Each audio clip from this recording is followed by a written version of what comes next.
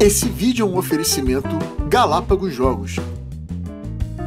E aí, rapaziada que assiste o Aftermath, estamos de volta. Eu sou o Fabrício e hoje mais um review pra vocês aqui no canal. Mas antes, já se inscreve no canal, curte e compartilha pra ajudar na divulgação. E falta um pouco mais de uma semana pra terminar a promoção de aniversário de dois anos do Aftermath. Na descrição do vídeo vai ter o link pra você poder participar e ganhar um Power Grid de bobeira. E aproveitando a situação, o jogo de hoje, meus queridos, ó, Power Grid do designer Friedman Freeze, lançado no Brasil pela Galápagos Jogos. É um jogo de 2 a 6 jogadores, vai levar ali no máximo 120 minutos. E as mecânicas são construção de rotas, leilão e movimento de área. Qual é a pegada do Power Grid? Cada jogador é um empresário que tem que comprar usinas, alimentá-las para fornecer energia para as cidades onde ele vai construindo casinhas. Então, em todo turno, você vai ter uma fase de leilão onde usinas vão estar disponíveis para você poder comprar. Depois, tu vai comprar recursos para poder alimentar essas suas usinas e depois vai gastar esses recursos para conseguir colocar energia elétrica nas cidades onde você está construindo.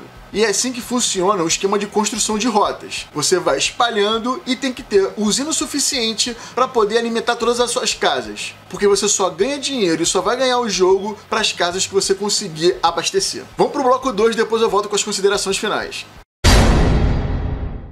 No início do jogo, cada jogador recebe 50 dinheiros, suas casinhas de madeira e coloca uma na ordem do turno e na pontuação de cidades. Cada turno é dividido em cinco fases. A primeira dela é determinar a ordem dos jogadores. No primeiro turno, essa ordem é definida aleatoriamente. Depois, o jogador que tiver mais casas é o primeiro a jogar. A segunda fase é o leilão das usinas, onde cada jogador pode passar e não comprar nenhuma usina ou dar um lance nas usinas de cima do leilão. O valor mínimo do lance lance é igual ao número que está no topo da carta. Então, por exemplo, se eu quiser essa aqui do número 4, eu tenho que dar um lance mínimo de 4 dinheiros e esperar se outro jogador da mesa vai dar um lance maior. Caso ninguém cubra o lance, eu pago 4 dinheiros e pego essa usina para mim. Você só pode comprar uma usina por turno. Na carta de usina, além do valor mínimo, ela informa o custo para ela poder funcionar e quantas cidades ela atende. Isso é importante porque na fase de burocracia você vai receber dinheiro por cidades que estejam sendo alimentadas pelas usinas. A terceira fase é comprar recursos.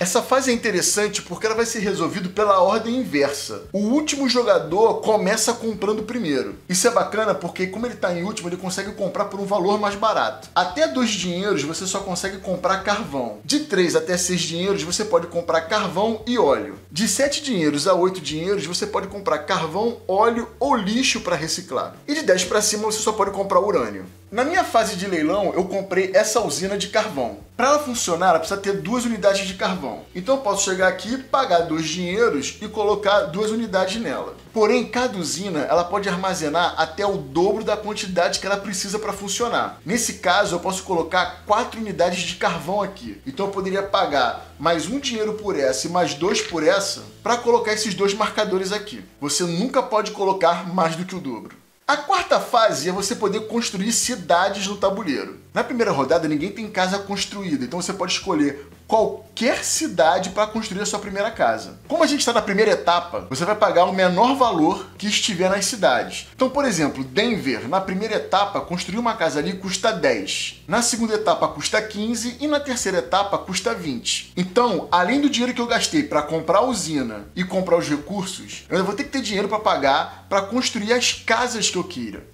Então, para construir uma casa em Denver, eu tenho que pagar 10 dinheiros. Eu pego minha casinha e coloco em Denver. Eu posso construir mais casas, porém, eu tenho que construir sempre ampliando a minha rede. Então, se eu comecei em Denver, eu tenho que ir para as cidades que estejam próximas de Denver. Então, por exemplo, se eu quiser construir uma casa em Santa Fé, eu tenho que pagar 10, porque a gente está na etapa 1 e é no primeiro espaço que eu tenho que colocar, mais 13, que é a distância entre elas. Porém, tem uma outra opção melhor que é construir em Cheyenne, que não custa nada entre Denver e Cheyenne. Então eu poderia pagar mais 10 dinheiros, pegar uma casa minha e colocar em Cheyenne.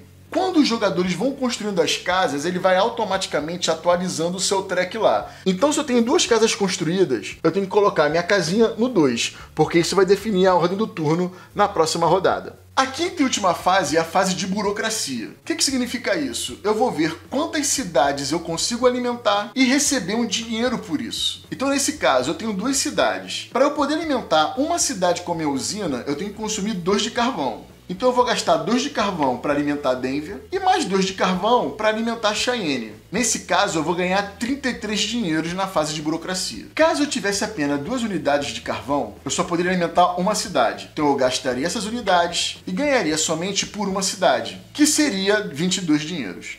O jogo vai seguindo e novas usinas vão aparecer. E conforme você passe de etapa, o custo vai ficando mais caro para construir nas cidades, porém o custo entre as cidades é mantido. No final do jogo, vence quem conseguir alimentar mais cidades. Então não sai espalhando cidades se você não tiver usina para conseguir alimentar cada uma delas.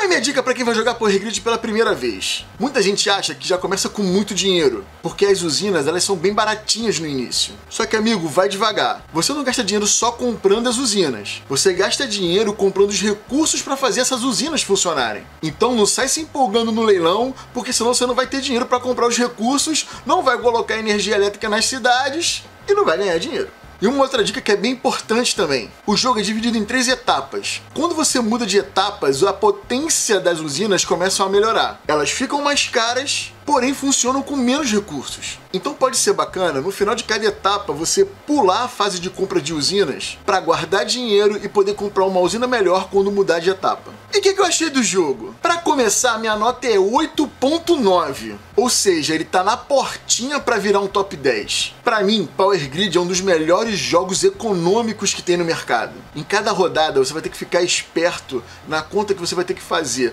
para saber se uma usina vale a pena, não só pelo valor dela, mas pelos recursos que ela consome. Porque o valor do recurso pode alterar a cada rodada no mercado. Isso deixa o jogo bem desafiador. Eu já ouvi história que tem gente que joga Power Grid usando Excel. Na boa, isso para mim é roubar. Porque o que define um vencedor no Power Grid é o cara que conseguiu usar o dinheiro da melhor forma possível. Às vezes você quer muito uma usina, mas durante o leilão o preço dela vai sendo inflacionado, pula fora.